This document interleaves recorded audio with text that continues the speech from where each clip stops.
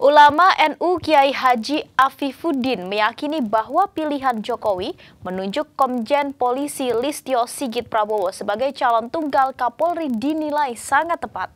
Afifuddin percaya dengan pilihan Presiden dan meyakini pemilihan Komjen Polisi Listio Sigit bisa membawa kinerja polisi ke depannya lebih baik dan profesional.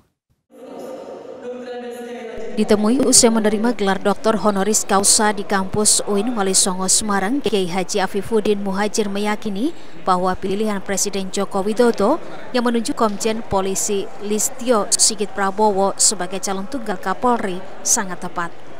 Afifuddin percaya pilihan Presiden Joko Widodo sudah melalui berbagai pertimbangan dan tentunya akan memajukan bangsa dan negara serta menjadikan kepolisian Indonesia lebih profesional. Meski dirinya tidak begitu paham terhadap sosok Komjen Listio, namun melihat informasi yang beredar, beliau sangat dekat dengan seluruh lapisan masyarakat, termasuk kalangan ulama. Kan apa namanya terserah Pak Jokowi, percaya Pak Jokowi. Karena kenapa saya percaya kepada Pak Jokowi? Saya tahu beliau orang Muslim yang baik dan taat menjalankan agama